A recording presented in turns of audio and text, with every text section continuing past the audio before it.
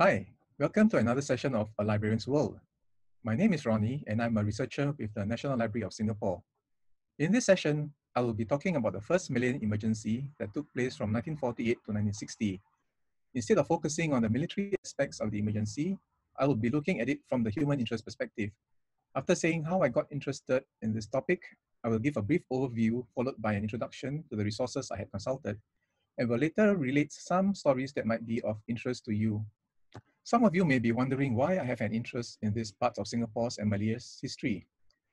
Well, when my cousin and I were young and mischievous, our exasperated elders would say, you guys are naughty like communists, or even frighten us by saying that they would bring us to the jungle and let the communists catch us. So I was wondering why they vilified the communists. And when I was a little older and going through my father's photo album, he pointed to me, someone whom he knew was murdered by the communists. That piqued my interest even further. And during my school mm-hmm. days, I happened to pick up a book on the emergency and I just could not put it down as soon as I started reading it. What's the name of this book? Well, before I reveal what it is, let me give you some background information about the emergency. The emergency was declared on 18th of June 1948 after three European planters were murdered by Malayan Communist Party or MCP guerrillas in Sungai Siput, Perak. Singapore followed suit on 24th June. Now, the overall aim of the MCP, led by Chin Peng, was to replace British rule in Malaya with communist rule. To counter the communists, the British implemented the Briggs Plan, named after Sir Harold Briggs. It largely involved cutting off logistical and communication support to the communists by those squatting on the jungle fringes. These people squatted there during World War II to escape Japanese oppression, but after the war, they supported the communists, either willingly or otherwise. They will move into new villages surrounded by barbed wire and protected by security forces. However, the British did suffer setbacks, most notably in October 1951, when the High Commissioner, Sir Henry Gurney, was killed in an ambush while on his way to Fraser's Hill. It was said that during the ambush, he walked up of the car to draw fire away from his wife, who was traveling with him. He was replaced three months later by Gerald Templer, who set out to win hearts and minds of the people as he knew that pouring more troops into the jungle alone would not solve the problem. In an attempt to end the emergency, both sides met in Baling, Kedah in 1955, but the talks failed. Okay, before I delve further into the topic, let me introduce you to some resources I referred to in my research. The book, The War of the Running Dogs by Noel Barber was a book I literally read from cover to cover a few times, and it became a launch pad for further research into the topic.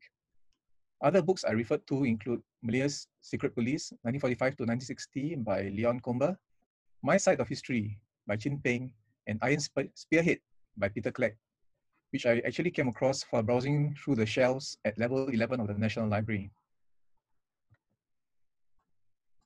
I also looked up books on interviews with Malay communists, other ex-communists, and a two-volume work which contains short biographies about some communists who were banished to China following their capture, and an oral history account of her own life by communist courier head Li Ming, amongst others. I also consulted our NLB eResources including Newspaper SG and JSTOR, which is a good resource for history journal articles. Let's now take a look at the impact of the emergency on Malayan civilians. When the British authorities went about rounding up jungle fringe squatters to resettle them in new villages, they did not give these villagers advance notice because they knew these people would tip off the communists and flee. So the authorities sent in their lorries unannounced and loaded them and their belongings and sent them off to new villages People also had to carry identity cards like the one you see in the bottom left-hand corner. Moreover, when they leave their villages, they would be searched by security personnel to ensure that they did not smuggle anything of value to the communists, especially rice and even cigarettes and coffee. Security personnel would also look out for telltale signs of smuggling, such as ladies who suddenly become pregnant as they were hiding rice in their undergarments. Severe penalties, including jail terms, awaited those caught smuggling items for the communists. During the emergency, there were incidents of buses being burned, rubber trees being slashed, and tin mines being sabotaged by the communists to wreak havoc on the economy. In addition, the communists would also maim or kill those deemed to be cooperating with the authorities. However, the security forces were not immune to committing atrocities either.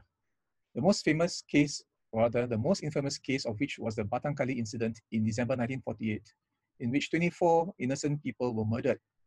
There were also reports of security forces molesting women folk at the gates of new villages on the pretext of searching them for smuggled items. Let's now take a look at some more personal battles that took place between the adversaries, the first of which involved two women, Li Ming, the head of a communist courier network, and her adversary, Detective Inspector Irene Lee from the Malayan Special Branch. The discovery of the existence of a network that stretched all the way from Singapore to Ipoh was made when security forces captured some documents in a communist camp in Selangor in 1952. Irene Lee, who was highly regarded by, by the Malayan Special Branch as well as her Singapore counterparts, was assigned to the task of unraveling it and apprehending its head. After following a trail that led from Singapore to places such as Yong Peng, Jerantut, and Kuala Lumpur, Irene Lee eventually arrested Li Ming in Ipoh in July 1952. Li Ming's arrest caused a media sensation and even the Hungarian government tried to intervene to save her from the gallows. However, she was eventually banished to China in 1963. While there, she helped look after her mother, who was banished much earlier for her communist activities until the latter passed on. She also met and married Chin Peng's trusted aide, Chen Tian, and they remained married until the, the latter passed away due to lung cancer in 1990. Li Ming herself passed away in 2012.